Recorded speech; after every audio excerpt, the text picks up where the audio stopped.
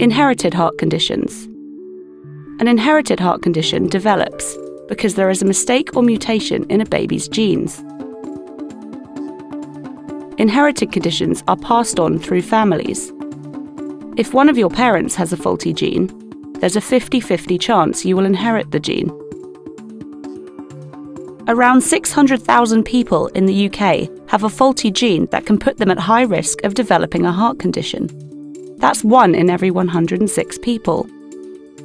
The most common inherited conditions include diseases of the heart muscle, cardiomyopathies, very high cholesterol levels from birth, familial hypercholesterolemia, FH, and abnormal heart rhythms. Inherited conditions are present at birth, but can go undetected until later in life. They can be harder to spot because you might not have symptoms. Look out for palpitations and blackouts, especially if you have a family history of heart problems.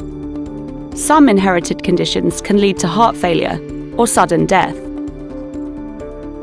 If someone in your family has an inherited condition, you can have tests to check your heart or to see if you've inherited the same faulty gene. Treatments range from medication to surgery, and sometimes lifestyle changes may help. The BHF is funding research to find the genes that cause inherited heart conditions. Learn more at bhf.org.uk/genes.